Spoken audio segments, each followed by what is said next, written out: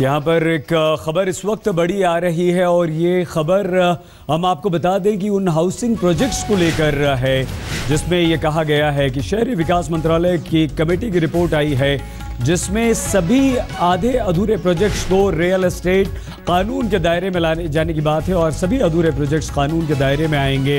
ये बहुत बड़ी खबर उन बायर्स के लिए आ रही है जिन्होंने अपने घर बुक करवाए थे और जिन्हें समय पर अपने फ्लैट्स अपने घर नहीं मिल पाए थे। तो शहरी विकास मंत्रालय की कमेटी ने ये सिफारिश की है, सभी अधूरे प्रोजेक्ट्स कानून के दायरे में आए। पिछले काफ़ी समय से फ्लैट्स की अधिकतम कीमत तय हो, ये भी कहा गया है क्योंकि बिल्डर्स कीमत लगातार बढ़ाते जाते हैं तो एक अधिकतर कीमत तय करने की बात की गई है और ये कहा गया है कि उससे ज़्यादा कीमत ना हो। ज़्यादा से ज़्यादा जो कीमत है जब आप फ्लैट खरीदने जाएँगे, तब तय हो जाए और उसके बाद वो कीमत बढ़ाई ना जाए। और सभी अधूरे प्रोजेक्ट जो हैं, वो कानून के दायरे में लाए जाने की सिफारिश की गई है। हम होते हैं हाजिर, देखते रहिए आज तक।